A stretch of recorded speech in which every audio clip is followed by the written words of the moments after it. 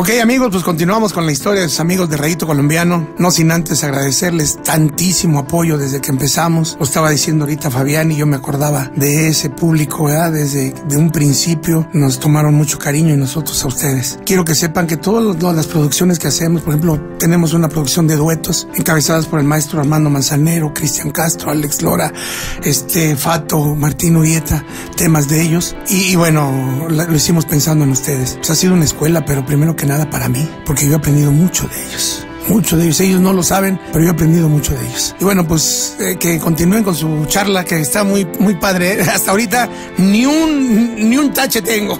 Bueno, eso que dice Rayito de una escuela, la verdad es que sí es muy, este, es otra disciplina con, con Ray. Yo, yo venía de, de, de un grupo, este, de renombre, pero, pero ahí era la, la, la, disciplina un poco más relajada, más, llegaba uno tarde y nos esperaban y, este, o llegaba uno, sí, sí, sí, y, no decía nada. En cambio, yo la primera vez que fui a, ensayar con Ray, llegué a la oficina, subí y me la encontré a él, pero, o sea, totalmente diferente, ¿no? O sea, de traje, de lentes y buenos días, ¿cómo está? Buenos días, pásale. Fue lo único que me dijo. Ya subí y este y fui a ensayar y nunca llegó al ensayo. Dije, ¿qué pasará? No, no ensayará, será muy Shakira, la verdad, ¿no? este, pues no ensayamos los temas y, todo eso. Pues sí me quedé así con esa, con esa impresión de él, ¿no? De, de, de así, ves a tu ídolo y pues lo que quieres ver, ¿qué pasó? ¿Cómo estás? ¿Qué, qué, qué bueno que... Pues no, ya hasta el segundo ensayo llegó y a ver si vamos a ensayar. Y este, había unas frasecitas de, de la trompeta que no me salían. A ver otra vez.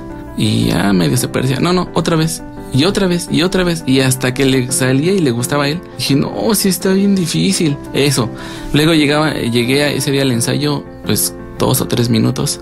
Y ya estaban todos. Ya estaban todos, todos los, la gente del ensayo.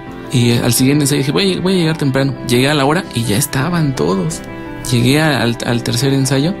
Dije, ahora sí llego 15 minutos antes.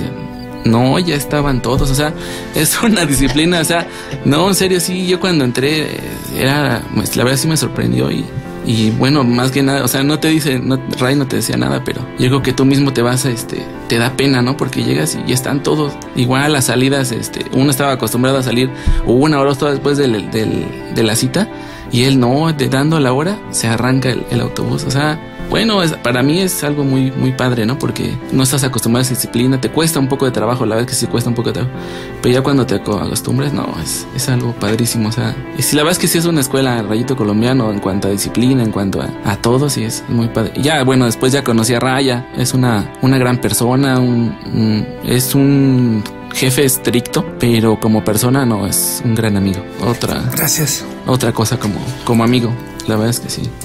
Fíjate que este, ahorita que estaba diciendo este Martín esto de lo de la disciplina, y es que a veces llega ¿no? alguien así, y estás con otras ondas acá, y, eso, y él ahorita ya lo ha visto, ¿no? Yo, yo, antes que nada les doy las gracias por esa paciencia que han tenido, ¿no? Yo tengo gente de verdad muy valiosa, y se los he dicho a ellos siempre, para mí los mejores músicos son los míos, para mí son los mejores músicos, porque están conmigo toman mi bandera y, y, y después se vuelve la, su bandera, yo también la tomo. Y órale, yo más o menos yo sé qué es lo que es un, un, ser un músico, ser soldadito, decimos nosotros, y también sé qué es ser general.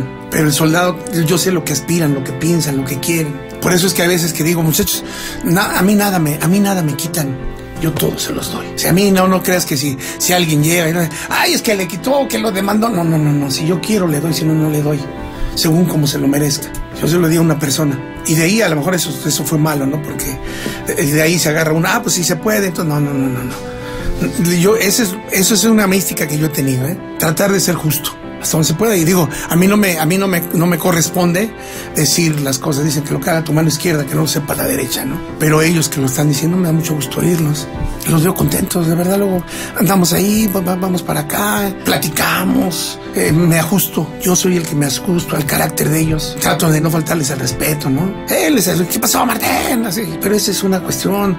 A Toño le digo, ¿qué pasó, mi Tonio? ¿Qué pasó, Rey? ¿Cómo estamos? A mi chima, ¿qué pasó, mi chima? Y hasta canciones les compongo. Chima, chima chima, chima, chima, tum, tum, tum, chima, chima. A él le decimos chima porque vive en Chimalhuacán, pero ahí traigo a mi, a mi asistente que en lugar de decirle chima, yo creo que oye mal, le, dice chema. ya le compuse ahí su canción, ¿no? Sí, te digo, tengo grandes amigos, este, ellos yo creo que son el 90% de lo que nos corresponde a nosotros los terrícolas, ¿verdad? Porque todo es un 100% de Dios. Fíjate que yo digo a veces, les he dicho, mira, si quieres hacer un negocio, haz a Dios tu socio. Porque Él va a poner el 99.99% y tú el otro .001% y todas las ganancias van a ser para ti. Nos tenemos que levantar, como decía ahorita Fabián, y decir, pues soy un hombre triunfador porque me dedico a lo que me gusta. Aparte de que ya estamos viviendo, ¿no? Que es el triunfo más grande. Es lo que yo les digo a veces. El triunfo más grande es haber abierto los ojos el día de hoy. Lo demás son subsecuentes. Que te saques la lotería, que te recibas de abogado, que nazcan tus hijos. Todos son subsecuentes al verdadero triunfo, haber abierto los ojos el día de hoy. Y eso solamente se lo debemos a un, a un poder superior, como cada quien lo conciba. Y para mí es Dios. Y, ver a la gente, dicen dar sin esperar, esperar recibir nada a cambio. Hay ocasiones en que yo me trueno los dedos para ciertas este, cosas que he impuesto aquí en el grupo y digo, ay, en la torre, ¿cómo le voy a hacer ahora este fin de año? Sobre todo en fin de año, ¿no?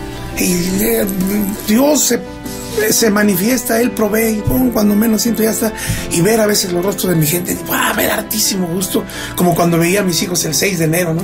No importaba si yo me había drogado, si ya había recibido la tanda de primer, y todo me lo gastaba en, en juguetes, ¿no? Los veía su, carita y veía los jugar y todo. Así, cuando doy así el, último, el último aguinaldo, porque yo les doy aguinaldo a mi gente, no manches, me siento bien contento. Eso no lo pago con nada, te lo juro. No sé cuánto me gasto ahí, pero no lo pago con nada. No cuesta eso, eso cuesta más. Es una satisfacción enorme, ¿no? Tantas cosas que, ellos han, han, colaborado, ¿no? Con sus ideas. Martín es una persona muy, yo lo, muy sabio, igual que Fabián. Tengo gente muy sabia yo, ¿eh? Nomás que ellos no lo saben, que yo ya me di cuenta. Creen que yo estoy ignorante, pero no, ya, ya me di cuenta que son muy sabios. La, sabiduría no es conocimiento, no es inteligencia.